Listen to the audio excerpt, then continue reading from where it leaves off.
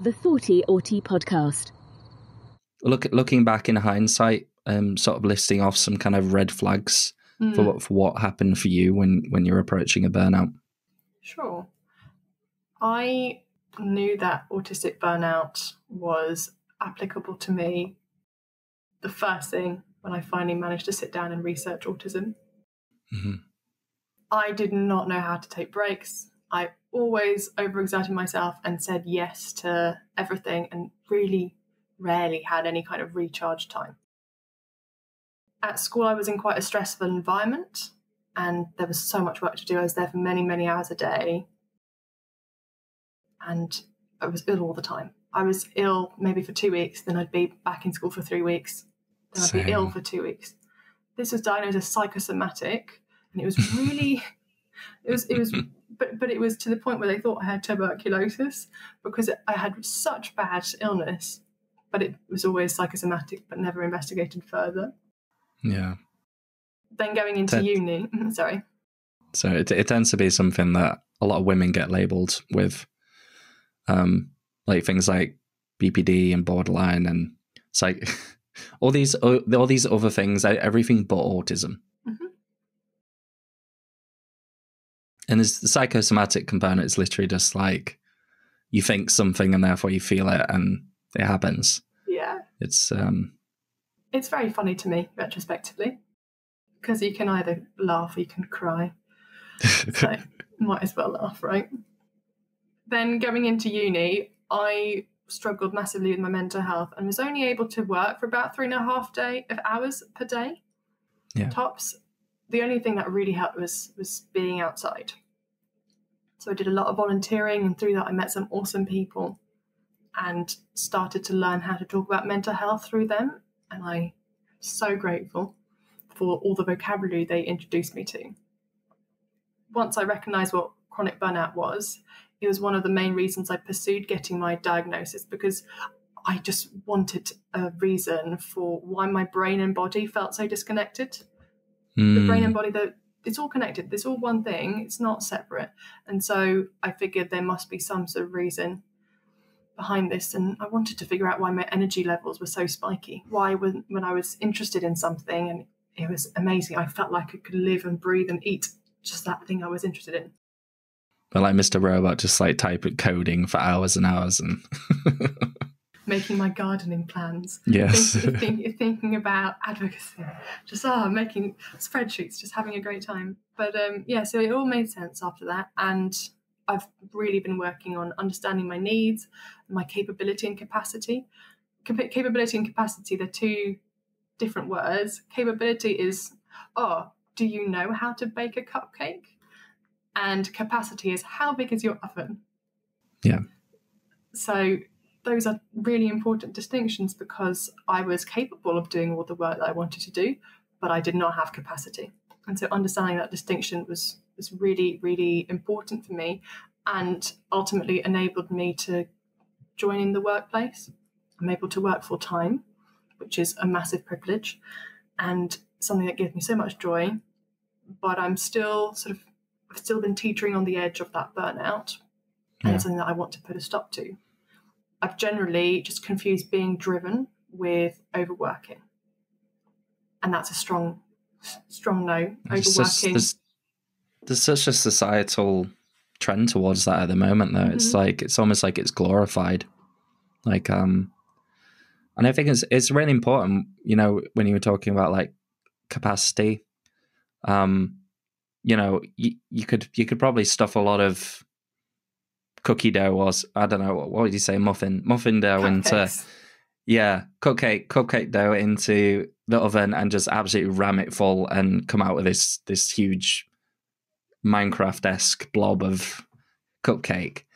But that doesn't mean that it's a good cupcake. No. Um, like you, And, and you can't eat that much cupcake for all the love in the world. I love cupcakes. There's not that many that I want to eat. After a while, they're all going to start tasting bland. Can you see where I'm going with this metaphor? yeah, the lack of joy from overworking creates is is palpable.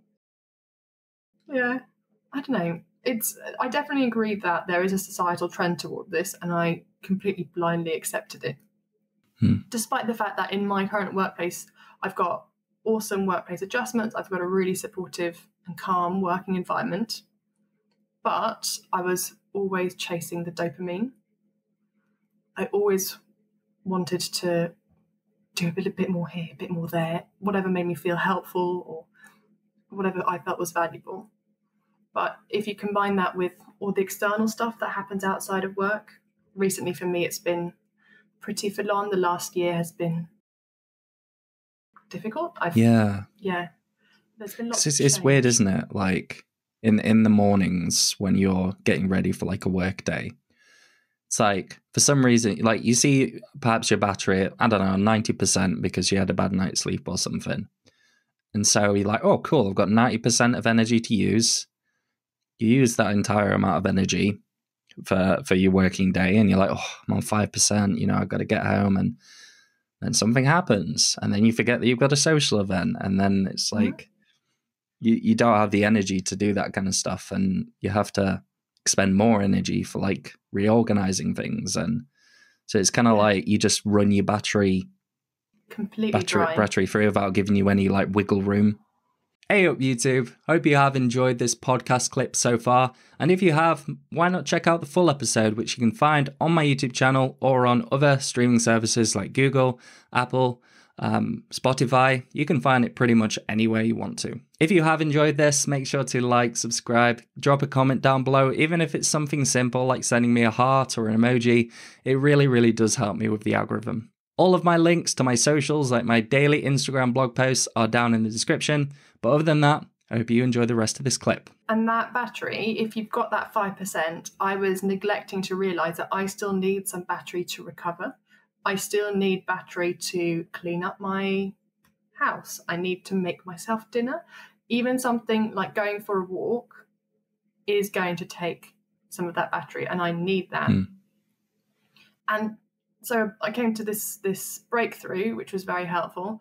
In the words of Taylor Swift, "Hi, it's me. I'm the problem. It's me."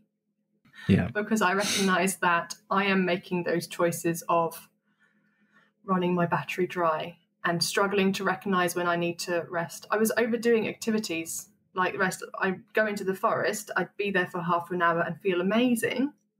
So I continued walking for another hour and a half until it was dark. And then I realized I'm in the middle of a forest with my dog. I don't have a flashlight. I don't have dinner waiting for me at home. Trying to min max resting. yeah. And I also don't have any groceries. So obviously that's going to be a problem. And that's where I needed to genuinely reevaluate my relationship to my energy and my capability and capacity properly. Hey up, just popping on to say thank you for listening to this podcast this far. If you could do me a real solid, please make sure to rate the podcast if you're on a podcasting streaming service and do all that like, subscribe, comment stuff on YouTube.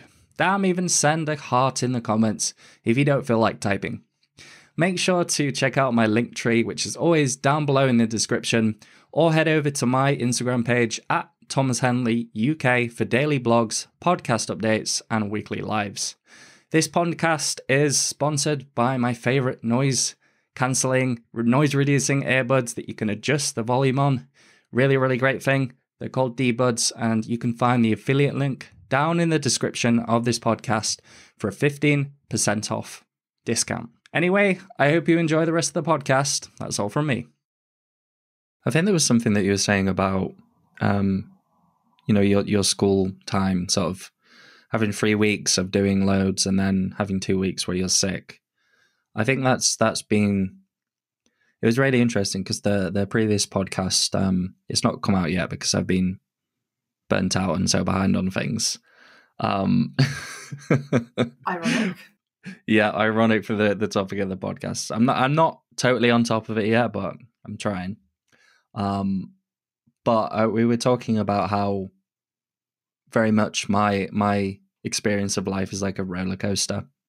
I have like peaks which are like really great and I'm doing so much and then I have absolute just tail off drops where I where I just you know I, I can't function and I need supports and things like that. And I think that's a really good analogy for like what happens when you just lean into that that whole burnout thing. Mm.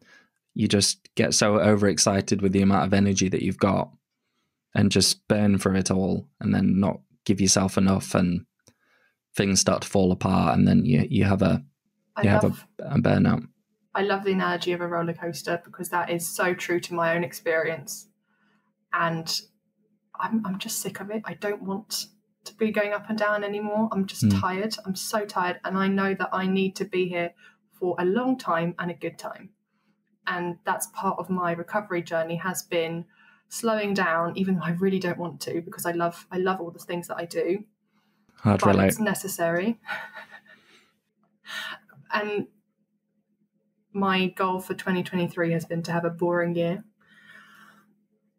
because I just I just need to slow down and figure things out and I've been setting myself up for success and learning what all my different red flags are for approaching Mm. approaching that burnout. And it's been incredibly invaluable